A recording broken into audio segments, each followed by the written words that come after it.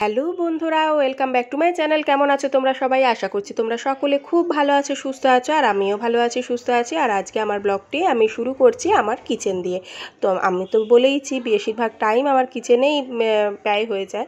তো সকালবেলাই আজকে কিচেনে চলে এসেছি, আর সকালবেলা তো সকলেরই একই কাজ, রান্নাবাড়ি করা। তো দেখছোই আমি ভাতের জলটা বসিয়ে দিয়েছি, আর ভাতটা বসিয়ে দিচ্ছি, কারণ তোমাদের দাদা ভাই আজকে খুব সকাল সকাল অফিস বেরিয়ে যাবে। সকাল বলতে এই ও সাড়ে এগারোটার সময় আজকে বেরিয়ে গেছে। গেছিল আর তাড়াতাড়ি চলেও এসেছিল। আর আজকে আবার আমাদের বিকেলবেলা এক জায়গায় নেমন্তন্ন আছে, সেখানেও যাওয়ার। সেটা পরে বলছি। আর দেখছোই এখন আমি এই বোতল দুটো পরিষ্কার করে নিচ্ছি। এই ট্রিক্সটা তোমরা কিন্তু অ্যাপ্লাই করে দেখতে পারো। খুব সুন্দরভাবে বোতল পরিষ্কার হয়। এর মধ্যে আমি দিয়ে দিলাম একটু খাবার সোডা আর ভিনিগার দিয়ে ভালো করে ঝাঁকিয়ে নিয়ে কিছুক্ষণ বাদে যদি ধুয়ে নেওয়া যায় বোতলের ভেতর যে একটা ভ্যাবসা গন্ধ হয়ে যায় অনেক দিন রাখতে রাখতে আর একটা সাদা সাদা সেরিমেন্ট পড়ে যায়, সেগুলো কিন্তু কিছুই থাকবে না। তো দেখো আমি আস্তে করে এবার ভালো করে পরিষ্কার করে নিচ্ছি, জল দিয়ে ঝাঁকিয়ে ঝাঁকিয়ে। আর তারপরে একটুখানি মুখটা একটু ভালো করে স্ক্রচ বাইট দিয়ে ঘষে নিলাম। ব্যাস, তাহলেই বোতল কিন্তু একদম পরিষ্কার হয়ে যাবে। তোমরা এভাবে বোতল কিন্তু পরিষ্কার করতে পারো।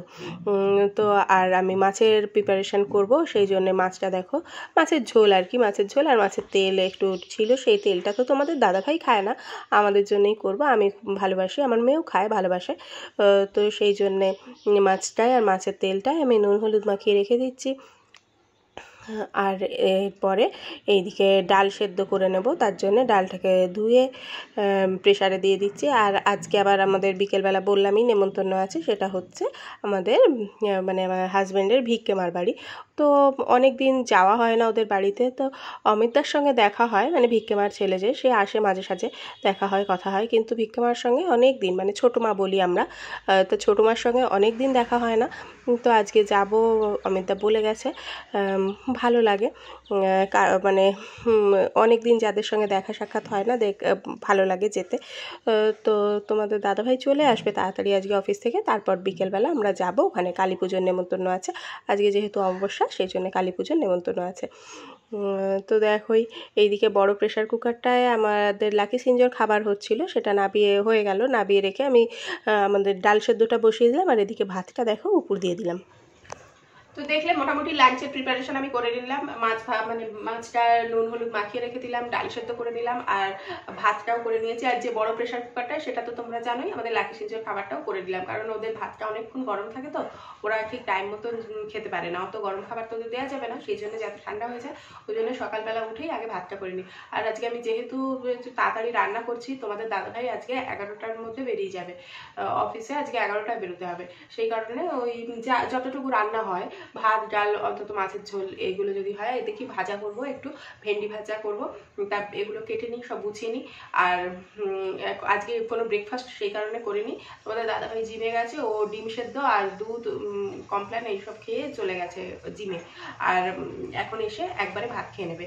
আর বাচ্চাদের জন্যও আজকে কিছু এখনও করিনি, কারণ ওরা উঠে যদি ম্যাগি খেতে চায় ম্যাগি করে দেবো, নয়তো ছাতু মানে দেবো আজকে। আর আমিও একটু ছাতু খেয়ে নেব আজকে। ওই জন্য আজকে ব্রেকফাস্ট কিছু করিনি। সকালবেলা থেকেই রান্নার তোরজোর শুরু করে দিয়েছি। আর আজকে ঘরের এখনও কাজ হয়নি। ঘরের বলতে ঝাড়ু পোছা তো সব হয়ে গেছে যেহেতু আমার যে হেল্পিং হ্যান্ড সে করে দিয়ে চলে যায়, সেই জন্য সকালবেলা সেই সব কাজ সমস্ত হয়ে গেছে। কিন্তু বিছানা ঝাড়া টাড়াগুলো হয়নি। আগে রান্নার দিকে রয়েছি, রান্নাটা করে আবার ওই দিকে যাব বিছানা টিছানাগুলো ঝাড়তে। তো আর আজকে সামনে থেকে বেশি এসে কথা বলতে পারছি না, কারণ খুবই ব্যস্ত রয়েছি, দেখছোই ও, কারণ তোমাদের দাদাভাই বেরবে অফিসে। তা এখন রান্নাগুলো কমপ্লিট করে নিই, দেখি যতটা আমি পারি ততটা এখন করে নেব, আর ও খেয়ে বেরিয়ে পড়ার পরে বাদ বাকি আমি করব। তো এবার দেখো বড় কড়া বসিয়ে দিয়েছি, আমি তার মধ্যে তেল দিয়ে দিলাম, এবার মাছটা ভেজে নেব, মাছের ঝোলটা রেডি করে নিচ্ছি। যতটা হয় আর কি, সকাল সকাল রান্না বোঝই তো। আর আজকে যেহেতু টিফিনটা করিনি সেই জন্য একটু তাড়াতাড়ি করে রান্নাটা করে নিচ্ছি। আর আজকে আমি বসে বটিতে কাটছি না কারণ এখানে দাঁড়িয়ে দাঁড়িয়েই কাটলে পরে এদিকে রান্নার মানে মাছটাও ভাজা হয়ে যাবে আর সবজিগুলোও কাটা হয়ে যাবে। আজকে যেহেতু কোনো ভারী সবজি নয়, এগুলো আমি চাকুতে কেটে নিতে পারি, কিন্তু ভারী সবজি তো আর চাকুতে আমি কাটতে পারি না। সেই জন্য নিচে বসেই কাটতে হয়। আর একজন ফ্রেন্ড আমাকে এই ট্রিক্সটা শিখিয়েছে যে খুব দেরি হয়ে গেলে এভাবে দাঁড়িয়ে দাঁড়িয়ে তুমি সবজিগুলো বানিয়ে নেবে তাহলে তোমার কাজের অনেকটাই তাড়াতাড়ি হবে। তো সত্যি আজকে আমি এইভাবে করে দেখলাম, আমার অনেকটাই সুবিধে হলো। প্রথমে ভাবছিলাম ভেন্ডি ভাজবো, তারপর দেখলাম যে বেগুনটা পুরোটা লাগবে না আমার কিছুটাই মাছের তেলে দেবো বাদ বাকি বেগুনটা আমি ভেজে নিতে পারব। সেই জন্য আজকে আর ভেন্ডি ভাজিনি, ওই বেগুন ভাজাটাই করলাম। তো এদিকে মাছটা ভেজে নিচ্ছি। আর ওই দিকে দেখো ডাল সেদ্ধ আমার হয়ে গেছে। বেগুনের মধ্যেও নুন, হলুদটা মাখিয়ে দিচ্ছি। নুন, আমি একটু নুন, হলুদ আর চিনি মাখিয়ে রেখে দিই, তাহলে বেগুনে কিন্তু অনেকটা তেলটা কম টানে। কিছুক্ষণ যদি নুন, হলুদ আর চিনি মাখিয়ে রাখা যায়, তাহলে বেগুনে অনেকটা তেল কম টানে। তোমরা এটাও কিন্তু করে দেখতে পারো, তোমাদের আশা করি তোমাদের কাজে লাগবে। নতুন যারা গৃহিণী, অনেক মানে আমি যখন নতুন রান্নাবাড়ি করতাম, এত কিছু বুঝতাম না। বেগুন ভাজতে গিয়ে আমার খুব অবস্থা খারাপ হয়ে যেত, কারণ প্রচুর তেলও চলে যেত, আর বেগুনটা এমন প্রথমে দিলেই তেলটা চুষে নিত না, মনে হতো যেন তেলই নেই। আবার তেল দিতাম, কিন্তু ভেতরে আবার পরে একদম তেল চুপচুপে ভরে যেত। সেই জন্যে তারপর থেকে আমি এইভাবে ট্রিক্স করে রান্না করি। তো দেখো এদিকে আলুটাও কেটে নিচ্ছি আর একটুখানি পেঁয়াজ ছাড়িয়ে নিচ্ছি।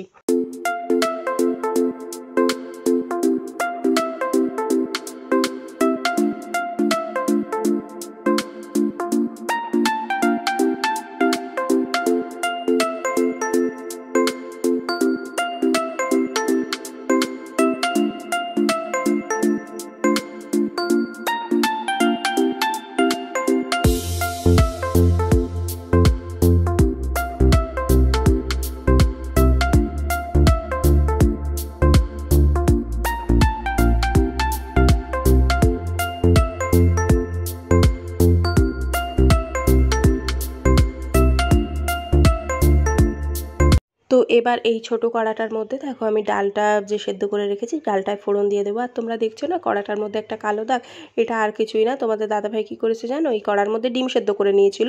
তারা এবার জলটা ফুটলে একটা দেখবে কালো দাগ হয়ে যায় অ্যালুমিনিয়ামের বর্তনে। সেই রকমই একটা দাগ পড়েছে, এটা ভালো করে ঘষে নিলেই হয়ে যাবে। আর এখন আমি এখানে পেঁয়াজ ফোড়ন দিয়ে দিলাম কারণ মুসুর ডালে পেঁয়াজ ফোড়ন দিয়ে আজকে করব।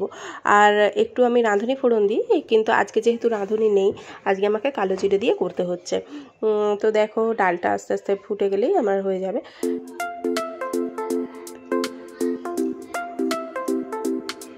ডালটা ফুটে গেছে, আমি অফ করে দিলাম, এবার ডালটা ঢেলে নিচ্ছি। আর ওই দিকের কড়াটার মধ্যে এবার আমি দেখো মাছের ঝোলের জন্য একটু জিরে ফোড়ন আর তেজপাতা ফোড়ন দিয়ে দিলাম। আর বেশি কিছু না, আমি আজকে একদম সিম্পলভাবে আদা বাটা, জিরে বাটা আর টমেটো বাটা দিয়েই মাছের ঝোলটা করে নেব। ভালো করে মশলাটা কষতে দিয়ে দেবো। ভালো করে মশলাটা কষে গেলে খেতে ভালো লাগে। যে কোনো রান্নাই ভালো করে মশলাটা কষানোই ইম্পর্টেন্ট আর এই দেখো যে বাটিটার মধ্যে, এর মধ্যে আমি নুন, হলুদ, লঙ্কার গুঁড়ো আর হচ্ছে একটু ধনে পাউডার ভালো করে জল দিয়ে মিক্স করে রেখেছি, এটাও আমি দিয়ে দেবো। তো মাছের ঝোলে যেদিন আমরা পেঁয়াজ, রসুন ইউজ করি না, এইভাবে মাছের ঝোল করলেও কিন্তু খেতে খুব ভালো হয়। তো দেখো মশলার থেকে আমার তেল ছেড়ে গেছে, এবার আমি আলুগুলো দিয়ে দেবো। মাছের ঝোলে আমার তো আলু দিতেই হবে, আলু মাস্ট আমার ছেলের জন্য, সেই জন্য আলুগুলো দিয়ে দিলাম। এবার আলুগুলো দিয়ে ভালো করে কষিয়ে নিয়ে জল দিয়ে ঢাকা দিয়ে দেবো। আলুগুলো আস্তে আস্তে সেদ্ধ হয়ে যাবে। আর ওই দিকে দেখো বরবটি বাটা করব বলে বরবটিগুলো সেদ্ধ বসালাম। আর যতক্ষণ ওগুলো হচ্ছে ততক্ষণ আমি বাইরে এসে জামা কাপড়গুলো ভিজিয়ে দিচ্ছি। কারণ জামা কাপড়গুলো ভেজানো থাকলে পরে কাচতে অনেক সুবিধে হয়। পরে আর অত কষ্ট করে কাচতে হয় না। এগুলো তাই জন্য ভেজাতে দিয়ে গেলাম। আর যতক্ষণ জামা কাপড় ভেজালাম, ততক্ষণ দেখো এদিকে মাছের ঝোলও আমার ফুটে গেছে, আলুও সেদ্ধ হয়ে গেছে। এবার মাছগুলো ছেড়ে দিচ্ছি। আর ওপর দিয়ে একটুখানি আমি গরম মশলার গুঁড়ো ছিটিয়ে মাছটা আমি নামিয়ে নেব কিন্তু। তো এই দেখো গরম মশলার গুঁড়ো দিয়ে দিলাম। এইবার মাছের ঝোলটা আমি আস্তে আস্তে নামিয়ে নেব।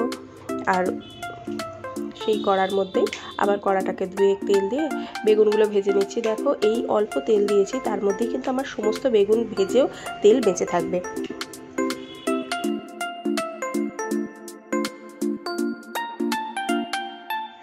তোমাদের দাদা ভাইয়ের খাবারটা বেড়ে দিচ্ছি। তো দেখো এত কষ্ট করে এত কিছু রান্না করলাম, কিন্তু ও কিচ্ছুই খেতে চাইছে না। বলছে, না, আমি কিছু খাব না। শুধু মাছে দাও একটুখানি আর অল্প ভাত। দেখছোই একদম অল্প পরিমাণে ভাত নিয়েছে। তো আমার খাটনিটাই এত তাড়াতাড়ি করাই বৃথা গেল। তো দেখো, বেগুন ভাজা আমার কমপ্লিট হয়ে গেছে। আর বললাম না, বেগুন ভাজার মধ্যে যে তেলটা বেঁচেছিল, তার মধ্যেই কিন্তু আমি আবার পেঁয়াজ কুচি, রসুন কুচি, আদা কুচি আর হচ্ছে একটুখানি লঙ্কার কুচি, আলু, বেগুন সব দিয়ে ভেজে নিয়ে মাছের তেলটাও কিন্তু এর মধ্যেই আমি রান্না করে ফেলতে পারছি। তাহলে তোমরা বুঝতেই পারছ, বেগুনটা ওইভাবে যদি ম্যারিনেট করে কিছুক্ষণ রাখা যায়, তাহলে কতটা তেল সাশ্রয় হয়? তো দেখো, এর মধ্যে এবার নুন, হলুদ আমি দিয়ে দিলাম আর মাছের তেলটাও দিয়ে দেবো। দিয়ে এবার এদিকে মাছের তেলটা হতে থাকবে। তো আজকে রান্নাগুলো দেখো, এই দেখো মাছের তেল, ডাল আর আমি আর বরবটি বাটাটা শেয়ার করিনি, আগেও একদিন করেছিলাম তাই। আর এই দেখো বেগুন ভাজা আর এই যে মাছের ঝোল। আজকে আমাদের দুপুরে এই মেনুই হয়েছিল। আর এগুলো তো কিছুই সেরকম ফুরোয়নি, আবার আমি তুলে দিয়েছিলাম, কারণ তোমাদের বললামই রাতের বেলা কিন্তু আবার আমাদের নেমন্তন্ন ছিল। তো দেখো জামা কাপড়গুলো কাঁচা হয়ে গেছে, মেলে দিচ্ছি। এরপরে একদম সোজাসুজি আমি চলে যাব রাতে। তো দেখো আমরা তৈরি হয়ে গেছি, এখন যাচ্ছি। ওখানে গিয়ে দেখব কিছু যদি মানে ভিডিও তোলা যায়। আর সকলে তো ক্যামেরা ফ্রেন্ডলি হয় না। আর এখন দেখো আমরা এতদিন ধরে আমি ব্লগ বানাচ্ছি, তাই আমার কথা জড়িয়ে যায়, ক্যামেরার সামনে আসতে একটু অস্বস্তি বোধ হয়। আর যারা করে না, তাদের তো হবেই। সুতরাং দেখি যদি কিছু শ্যুট করতে পারি, অবশ্যই করব। আর না হলে আবার বাড়ি এসে তোমাদের সঙ্গে কথা বলব। দেখো, আমরা সব ব্ল্যাক ব্ল্যাক ম্যাচিং করে পড়েছি। আর এই যে আমার সোনা, তৈরি হয়ে গেছে। তো দেখো, পৌঁছে গেছি একদম বাড়ির সামনে। এখন বাড়িতে ঢুকছি, কিন্তু বাইরে এত মিউজিক আর গাড়ি চলছে, তোমরা বাইরে দিয়ে দেখতেই পাচ্ছ। সেই জন্য আমি, এই ভয়েসটা আমি পরে দিচ্ছি। ও তো আর এখানেও গান বাজছিল, ঠাকুরের গান বাজছিল, কিন্তু জানি না কপিরাইট আসবে কি না সেই জন্য আমি ভয়েসটা বন্ধ করে দিয়েছি, আমি পরে ভয়েস ওভার দিচ্ছি। তো দেখো মায়ের প্রতিমাটা এমনি যে কোনো ঠাকুর তো আর কোনো আলাদা করে বলা অপেক্ষা রাখে না যে সুন্দর। সমস্ত ঠাকুরই খুবই ভালো লাগে দেখতে। আর আমার পুজো বাড়ি যেতেও খুব ভালো লাগে। পুজোর কাজ করতে, ঠাকুর দেখতে খুব ভালো লাগে। তো দেখো আমার মেয়ে ওখানে বসে আছে। আর ছেলের জায়গা পায়নি বলে ওর রাগ। তো আমরা একটুখানি ফটো দুজনে তুলছিলাম। তা আমার হাজব্যান্ড হাসছিল বলছিল, তুমি এখানে এসেও ঠাকুরের কাছে এসেও ফটো তোলা আর ছাড়ছো না। বলে আমাকে নিয়ে একটুখানি লেগ পুলিং করছিল। আমরা খেতে বসে গেছি। রাতে ওদের মেনুতে ছিল খিচুড়ি, বেগুনি আর একটা সমস্ত কিছু দিয়ে চচ্চড়ি, চাটনি, পায়েস। খুব ভালো খিচুড়িটা এত সুন্দর হয়েছিল যে কি বলব, আমার ছেলে খিচুড়ি ভালোবাসে না, খেতেও চায় না। কিন্তু ও পরিষ্কার করে খেয়ে নিয়েছিল। এই ফিরলাম পুজো বাড়ি থেকে। এখন কটা বাজে জানো? এগারোটা। এখন আমার ড্রেস ছাড়া হয়নি, কারণ এসেই আগে দুটো শর্ট ভিডিও বানিয়ে নিলাম, তাই জন্যে। আর কারণ শাড়ি তো একদম পরাই হয় না, শাড়ি পরলেই আগে শর্ট ভিডিওর কথা মনে হয়। ভাবি একটা শর্ট ভিডিও বানিয়ে তো শর্ট ভিডিওটা বানিয়ে নিলাম। আর ছেলেকে ড্রেস চেঞ্জ করিয়ে দিয়েছি, মেয়ে ওদিকে ছেড়ে নিয়েছে জামা কাপড় এইবারে আমিও আস্তে আস্তে এই ঘরের সমস্ত খেলনা ছড়ানো। এই খেলাগুলো উঠাবো উঠে তারপর বিছানা টিছানা করব, করে শুয়ে পড়ব। তো, অনেকদিন, প্রায় ছোটো মার সঙ্গে আমাদের দেখা প্রায় আমার ছেলের লাস্টে মনে হয় আমার ছেলের ওই অন্নপ্রাশনের সময় লাস্টে দেখা হয়েছিল। তারপরে মনে পড়ছে না, হয়তো একবার হতেও পারে এক দেড়বার দুবার। সেইভাবে তো মানে ছোটো মা যেহেতু সার্ভিস করতো, এই রিটায়ারমেন্ট হয়েছে। তো সেই কারণে এবার কখন বাড়ি আসছে, আছে জানি, জানা হতো না, কারণ রবিবার ছাড়া সময় হতো না। এইভাবে অনেক দিন যাতায়াত ছিল না। অনেক দিন বাদে গিয়ে অনেক ভালো লাগল, অনেক বছর পরে মানে ছোটো মার সঙ্গে দেখা হলো। অমিতার সঙ্গে তো দেখা হয় মাঝে সাঝে, কিন্তু ছোটো মার সঙ্গে দেখা একেবারেই হয় না। তো ঠিক আছে, আর আজকে ব্লগটি বেশি বড় করছি না। আশা করি তোমাদের ভালো লেগেছে। ভালো লাগলে অবশ্যই একটা লাইক করে দিও। আর যে সকল বন্ধু আমার চ্যানেল নতুন এসছে, তারা আমার চ্যানেলটিকে সাবস্ক্রাইব করে দিও